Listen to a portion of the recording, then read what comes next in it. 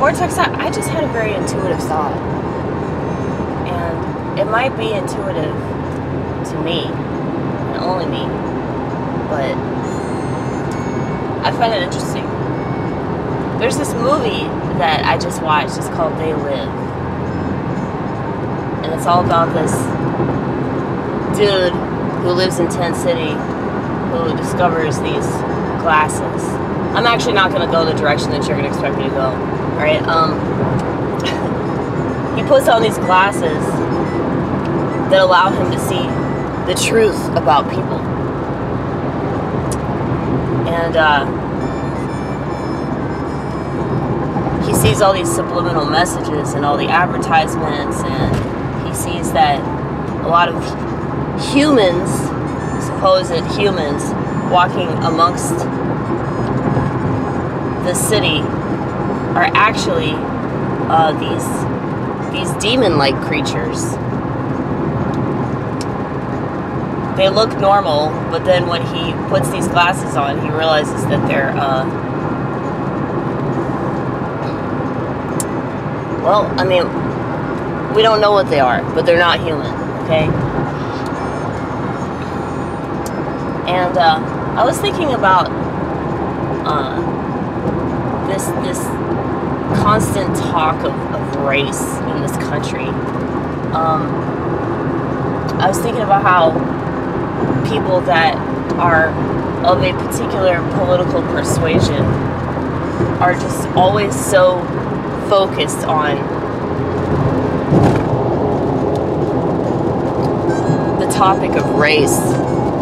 Um, I was thinking about my Marxist friend, or whatever he was. He was a friend at some point. I don't really talk to him anymore. Um, I see him every every once in a while in comedy, and we're we're cordial, but um,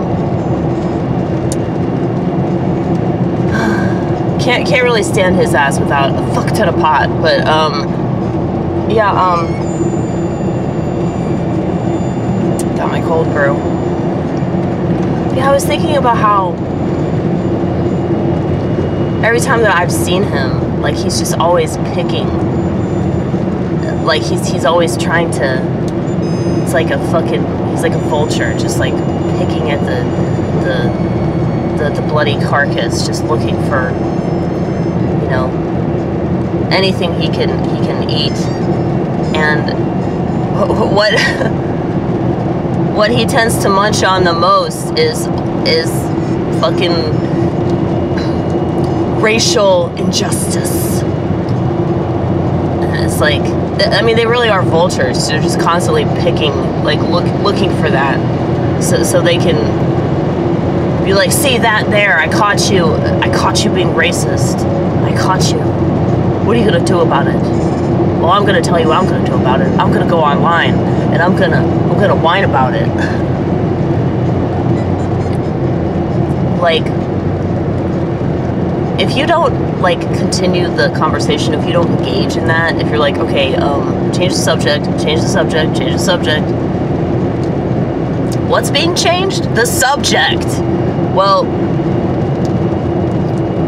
I I, I try to uh, like evade it like very very uh, subtly like I'm, I'm a sneaky bitch when it comes to that sort of thing. Just because i'm so annoyed. I'm so annoyed with people like that it's just aggravating. But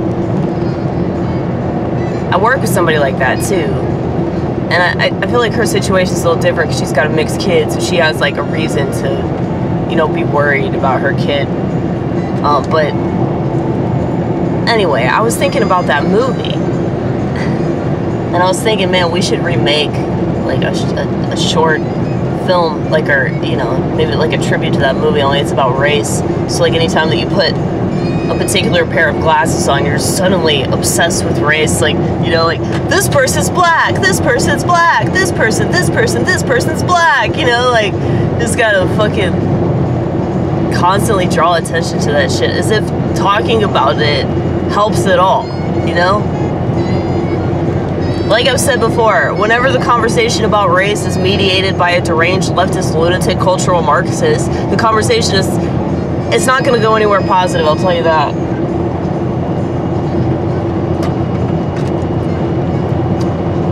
And another thing, it's like whenever you get accused of, of, of racism, it just seems that somebody wants to discriminate against you because you're pointing out a fact or you're, you're speaking on a problem that we have in our society. And you're not allowed to do that unless you know you're criticizing a white male. That, that's that's the only time that you're allowed to complain about anybody's bad behavior you know? And that, that's fucked up. And everybody knows that shit but they're afraid to say it because like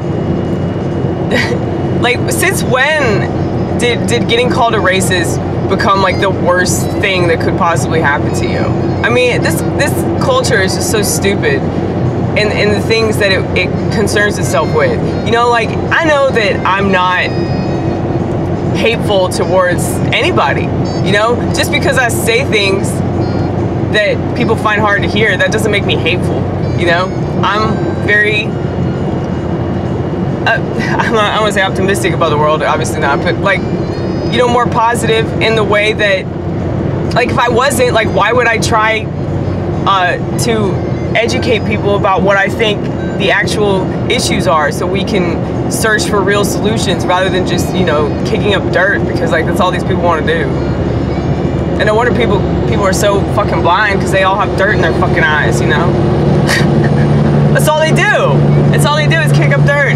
But anyway, I was just thinking like, you know, these people that are so obsessed with identity politics, and it's not just race either, it's everything people are so obsessed with identity politics. It's like they're the ones that have those glasses on. You know, they want to accuse everybody else. I mean, it's obvious projection, but they can't see that because they know nothing about psychology. But anyway, they want to, you know, further their little agenda that they don't even know exists because they're part of that brainwashed masses that you know they just they think that if they talk about these things in a certain way that makes them a good person especially white people, they're like, I'm a good whitey. I'm a really good whitey. I'm doing the right thing and I'm bitching at other white people for, for being white. I'm saving the world. I'm saving the world for being too white.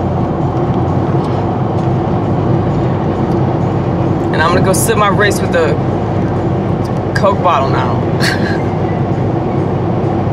anyway. it's like people that are obsessed with a particular narrative they want to project that and they, they want to accuse you of being obsessed with, with race and, and looking at everything from that lens but they're the one that's, that's wearing those glasses they, they want to accuse you put these glasses on. Put these glasses on. And you'll see that everything's about race. You'll see you'll see the racism um, in, in, in everything. And and you won't be able to avoid it. And you won't be able to shut up about it. Because constantly talking about it is really really making it go away